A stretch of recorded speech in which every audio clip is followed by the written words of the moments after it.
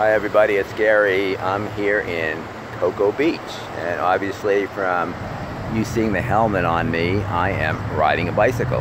Actually, it's not my bicycle, it's my neighbor's bicycle, two spaces down from me. They're in Orlando uh, this week. Uh, she was supposed to have surgery, uh, Linda was her name, and she's supposed to have surgery, but it was canceled. But since they're in the Disneyland area and they have season passes, they just decided to hang around there until the 1st of November. So I'm watering their plants and taking care of the yard and getting their mail. And uh, they have two bikes there, so I asked if I could use one while they're away.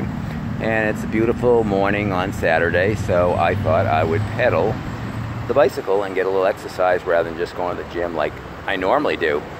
So anyways, uh, that's what I'm doing right now, and I saw this surfboard here on this hotel, and I thought it was a good backdrop, so I figured uh, when in Florida, why not take pictures behind or in front of surfboards? So that's what I'm doing. So um, I'm going to continue bicycling for another hour or so and uh, just kind of um, look around the area and get a little more familiar what what is downtown and the um, tourist area. I'm, I'm actually very close to Ron Jon's surf shop, and I may do another video in front of that when I get there if I'm in the mood for it, if I'm not too tired. So anyways, uh, I just want to say hi and hope you're having a great day and a great weekend and keep warm and uh, stay dry and we will be talking later. Have a great day.